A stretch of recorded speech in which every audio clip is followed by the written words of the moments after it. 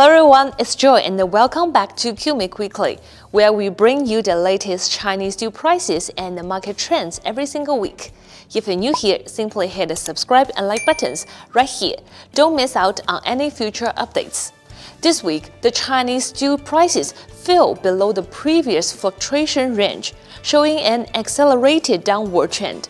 Rebar futures hit a new low since the end of April 2020 while hot rolled coil futures fell to a 14-month low.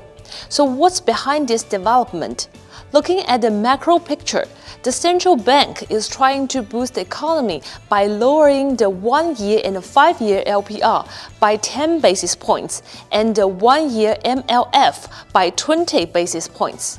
However, the market hasn't given much positive response. Instead, the Shanghai Composite Index has fell to a five-month low, causing investors much worries.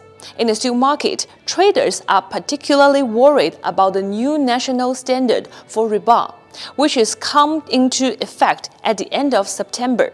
This has led to fears that inventories of old standard will lose their value. As a result, traders have been selling off large quantities of them as early as possible, causing rebar prices to plummet further, while panic has been spreading across the market. As a result, we are seeing a general price falling from spot to futures, and from finished products to raw materials. Next, let's examine the supply and demand side. This week, China's apparent demand dropped by more than 240,000 tons, and inventories grew by 6,000 tons, with production falling a bit. This drop in demand and the increase in inventory are intensifying the pressure to reduce stockpiles. So what's next for the steel market? Currently, steel prices have fallen below their key level, leading to very bearish market sentiment.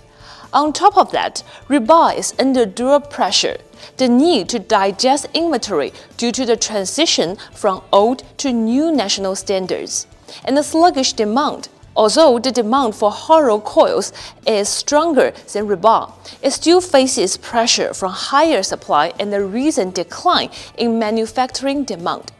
Looking ahead, we believe that the short-term market will continue its downward trend. However, it's also worth paying attention to the potential risk of oversold rebound after such rapid and substantial declines.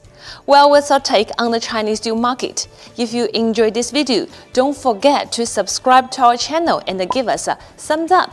Just hit the subscribe and like buttons right here. See you next week. Bye bye.